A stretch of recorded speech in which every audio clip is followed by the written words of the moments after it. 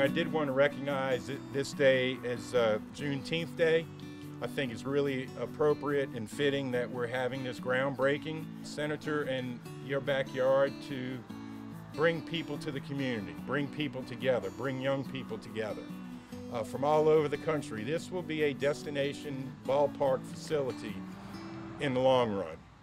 You have to start somewhere, and uh, obviously this is a great start, but we look forward to kind of building out as, as, as we go along. This facility we believe is going to bring lots of people to visit Jefferson Parish. When, when you have traveling baseball, traveling soccer, uh, the mother, the grandfather, the aunt, the uncle, follow those teams. They'll stay in our hotels, they'll go to our restaurants, they'll play golf at TPC, they'll go on the tours uh, here and go down to Lafitte, uh, um, Representative Kerner, uh, those fine tours and fishing trips y'all offer uh, down that way. So we think this is going to be a big, big uh, advantage for Jefferson Parish and make quality of life so, so much better. We believe that this project will put Jefferson Parish on the map for sports tourism. This complex, combined with LaSalle Park on the east bank and Parc des Familles on the west bank, will provide significant field space to attract regional tournaments to the parish.